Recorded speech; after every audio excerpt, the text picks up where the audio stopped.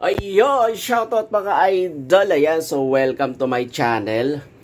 Um, naalala nyo mga kapatid, no, no way back uh, July 4, 2023, um, eto ka podcast ni RJ Ledesma ay ipinakilala niya, in-interview niya itong si Wijana Chen. Siya yung CEO ng Sitaw Philippines.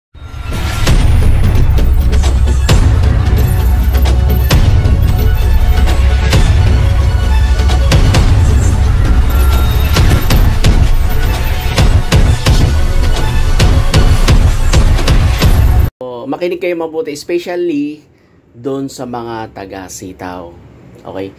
Nung umpisa pa lang na itong si Wijana Chen ay lumabas, sinabi na namin na ito ay isang front CEO. Ibig pong sabihin, binayaran lang, hinire lang para maging CEO. At yan po ay uh, supported no ng uh, dati nilang lawyer nung magka-chat kami. Okay, so ito yung kanyang sinabi.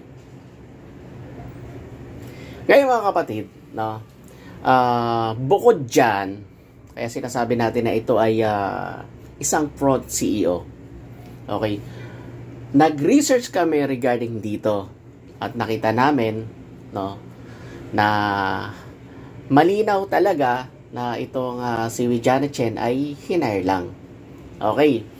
Isa po yan sa mga reason kung bakit natin sinasabi na itong sitaw ay isang scam. Okay. So, kung maalala nyo, yung mga malalaking kumpanya dito, yung mga CEO niyan, yung mga presidente niyan, mga board of directors niyan, actually sila yung may-ari talaga ng company. Diba? Madalang sa sa mga Pilipino na yung higher official ay hinard lang para maging CEO, maging presidente. Ang mga manager, oo. Diba? Pero yung lalabas na pinaka-higher position, kadalasan po sila yung may-ari ng kumpanya. Pero dito sa Sitaw, nag-hire lang sila ng CEO. Okay? So, it's a red flag ng scam para sa atin. Dahil sinasabi nga natin, mostly na mga scams, mga front CEO lang yung mga yan binabayaran lang yung mga yan para magpanggap na CEO ng isang pinapatakbong is company.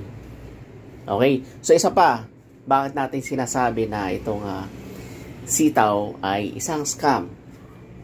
Okay.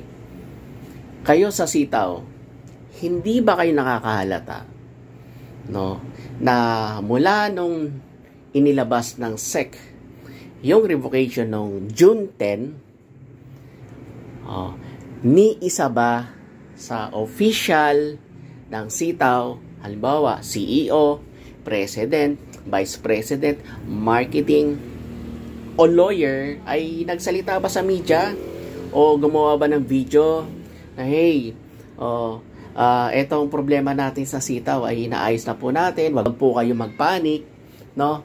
At uh, rest assured na maayos din ang lahat. Oh, yung CEO ninyo nasaan? Yung presidente niyo nasaan? Oh, wala ba kayong spokesperson na pwedeng magsalita? No? O kayo, hindi ba kayo nagtataka? Hmm. Bakit sa mga announcement, hindi nakalagay doon ay CEO? Nakalagay doon doon, Sitaw PH, Sitaw Philippines. Minsan nga wala pa nakalagay, di ba? Ngayon, ito pa yung red flag. Ang nag explain sa inyo ay mga coaches, mga kapwa sellers, no? especially yung nandun sa mga top seller ng sitaw. Sa amin po, it's a red flag kasi kung legit kayong company, hindi is company, eh kapatid, ang nag explain dyan ng mga ganyang issue, yung official ng company. 'Di ba? Ang mga company meron yang mga um, organizational chart. Yun po talaga yung nag explain Okay, meron silang announcement. No?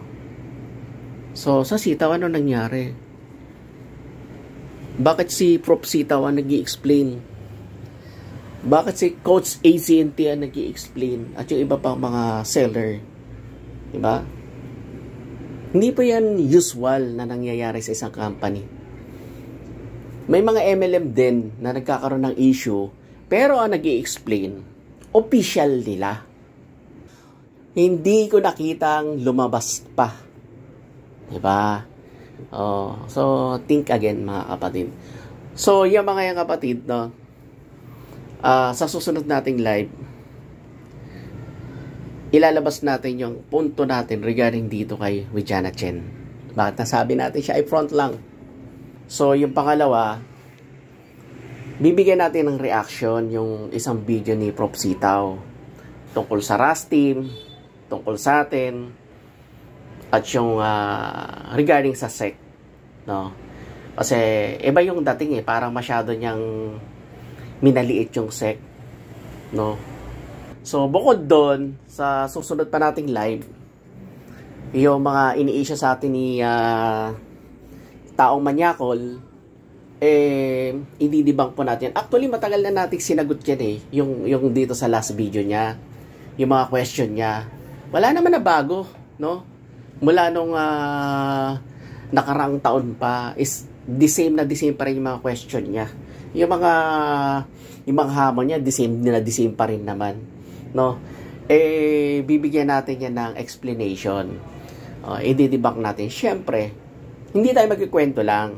Maglalabas tayo ng ebidensya. Okay? Para makatotohanan, di ba? So, ayun mga kapatid, abangan nyo na lang yung ating susunod na live. Okay? So, hanggang sa muli, Shim Daniel. Babush.